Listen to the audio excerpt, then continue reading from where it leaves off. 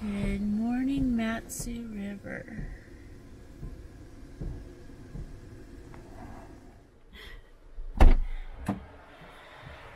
Good morning. Good morning. Oh, look at that.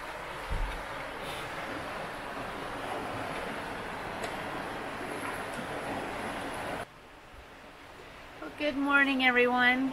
I have to say that this is the best way to wake up in the morning. Last night we could hear this beautiful river flowing and I slept so good. I didn't even want to get up. The sun is shining and it's a beautiful day. I'm super excited to go where we're headed next and show our friends where we're going. Should I tell you? No, let's just wait and see. Anyway, Jim made the coffee and I guess we're not having breakfast, but that's okay. Um, I get to sit here and watch this all day long. No stress. No worries. So Hunter likes just chilling and looking at the water too. She looks happy. Are you happy? Jim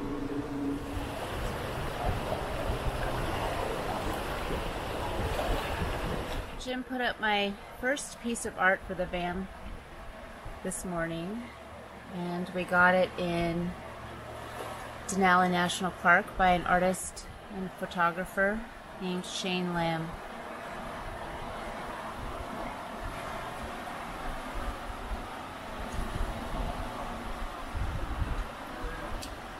This is my black wolf. I'll put it right here over the cabinet.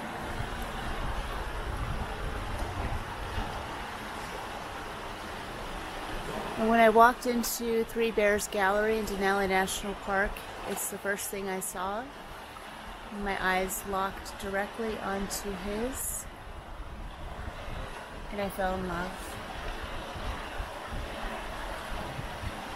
We've stuck it up with 3M tape, some really heavy duty stuff, and it's very lightweight. It sticks out a little bit, which I actually kind of like that 3D effect. But he's gorgeous. Just another little added touch for um, to make it feel a little like home.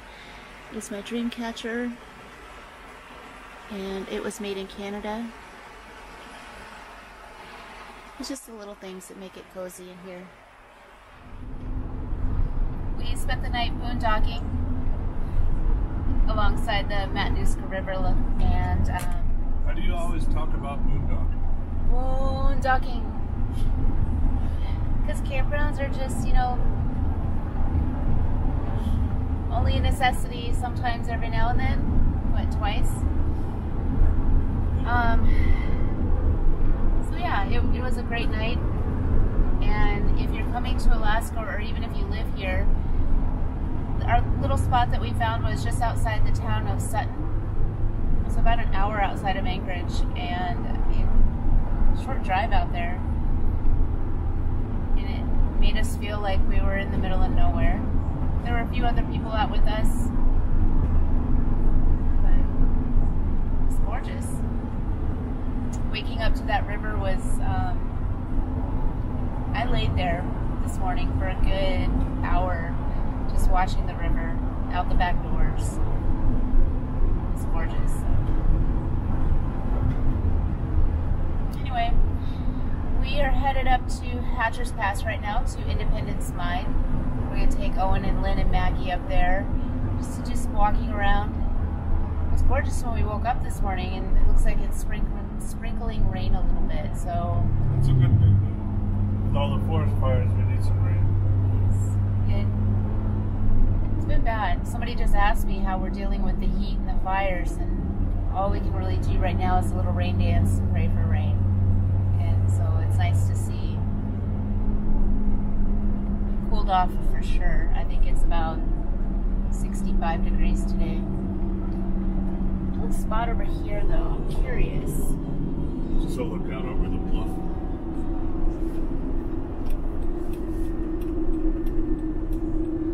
Well, one of these days we'll stop there.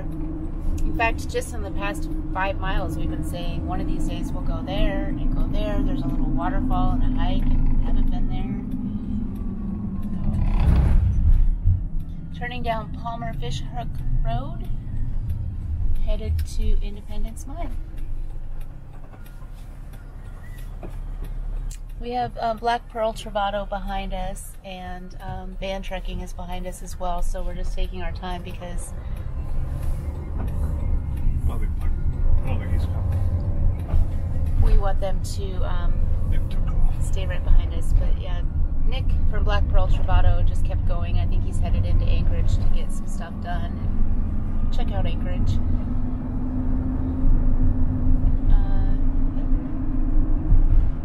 Both of their vans got pretty beat up doing the Dalton. So, they have a little work to do on them. I think Nick's going to a tire shop and um, getting some work done on his generator. and his Truma system. And he has no hot water right now. Oh, I didn't know that. So the Dalton Highway can be pretty hard on your vehicle for sure. And one of the tips that we left out when we were talking about the Dalton is you have to take it slow. You know, you can't just go up there and get the picture and go back. You have to enjoy every moment of it. Just drive a little while and then stop. Enjoy the scenery. And for those who don't see the wildlife and stuff, usually it's because you're going too fast. You gotta stop and take a look around and just enjoy it. There's no point in doing a trip like the Dalton if you're not gonna take your time. So it's nice to see the rain. Maybe a little bit of a rainy hike up there. I don't know. The sun's shining over there, so we'll see. I'm not worried about it.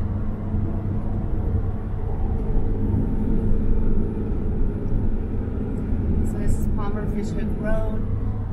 There's a lot of cool places out here, little houses. In fact, my friend built that house that I just showed you.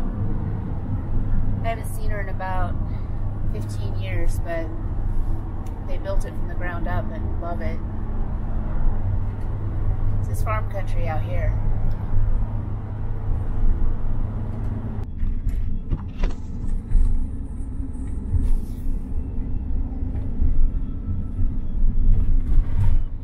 The drive up to Hatcher's Pass is a beautiful drive. There's this gateway scenic overlook that we usually stop at, but maybe we'll do that on the way back. Oh, we're stopping. Yay. It's gorgeous.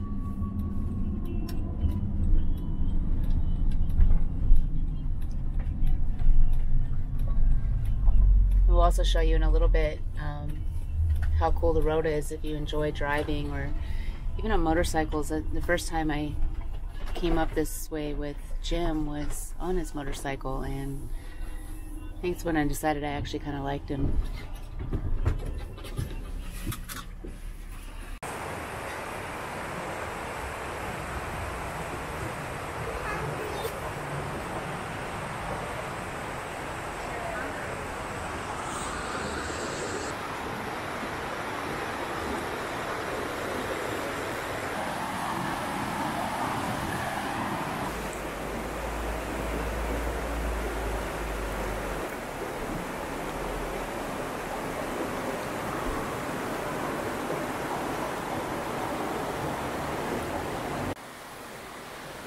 This was a beautiful walk back here to this river. Absolutely gorgeous.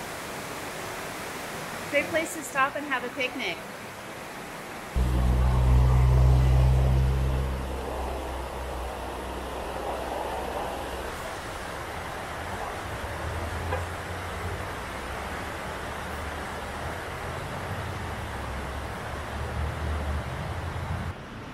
Looks like Owen and Lynn and Jim have made some friends already while I was out playing in the in the woods.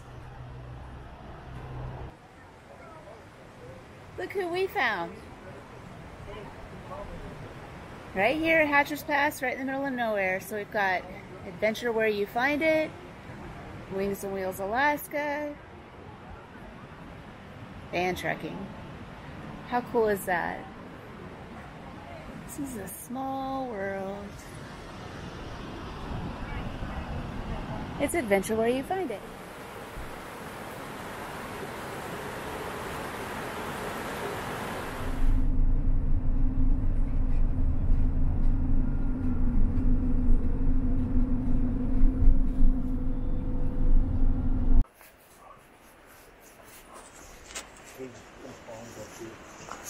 They're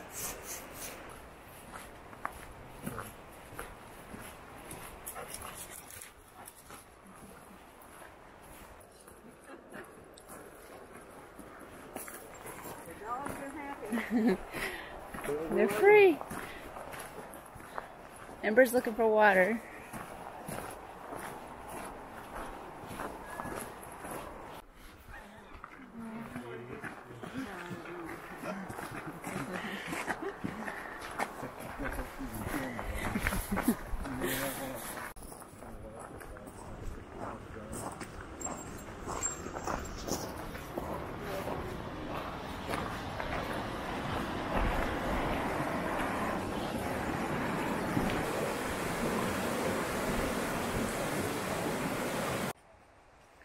This hike has been so beautiful.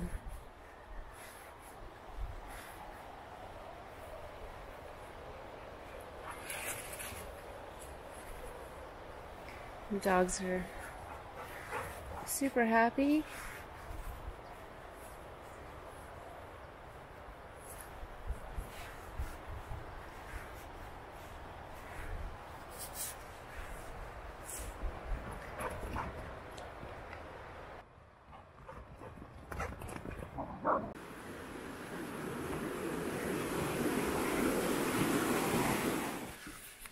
Making up some lunch here before we head up to the mine. Our standard turkey sandwich, cheese, a little bit of spicy mustard.